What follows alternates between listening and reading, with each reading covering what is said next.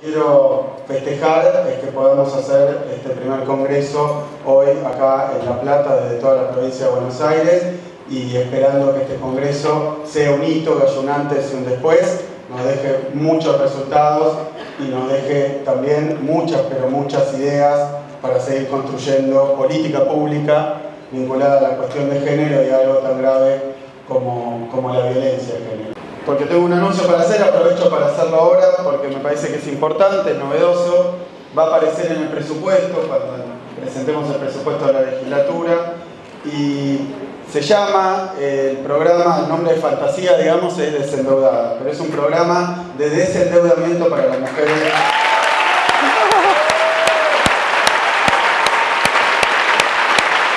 No es que empezó, ni la institucionalidad de género, ni es la primera vez que se empiezan a abordar las problemáticas de violencia por razones de género, pero sí es la primera vez que se coloca en el principal rango de la gestión el mecanismo para las políticas de género en el gobierno, tanto en la nación como en la provincia de Buenos Aires con la construcción de los primeros ministerios. Hubo un paradigma que exprofeso el neoliberalismo llevó adelante, el de Macri y el de Vidal en la provincia de Buenos Aires, que fue plantear que el mecanismo que lleva adelante las políticas de género lo hace solo para cumplir con la violencia, con la ley, la Convención de Belén do Pará o la ley integral, la 26.485 de violencia por motivos de género.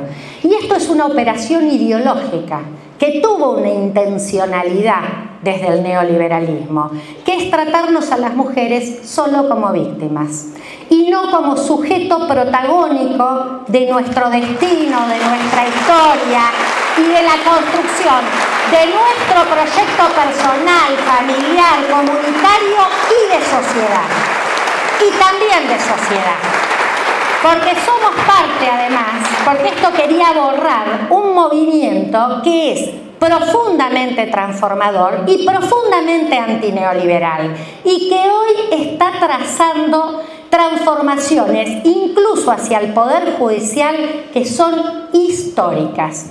Pensar en el ministerio significa que las ministras están en la misma mesa del gabinete.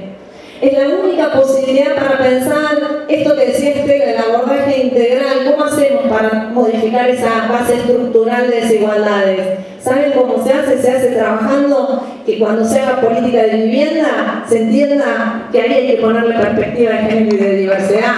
Que cuando pensamos la producción y el empleo se necesita pensar con perspectiva de género y diversidad. Que cuando pensamos la salud tenemos que saber que nos cuesta más efectivamente acceder al derecho a la salud. Hay que pensar la educación con perspectiva de género y diversidad. Hay que pensar el turismo. Hay que pensar cada una de las áreas. Lo que hay que hacer es transformar el Estado. Hay que transformar el Estado.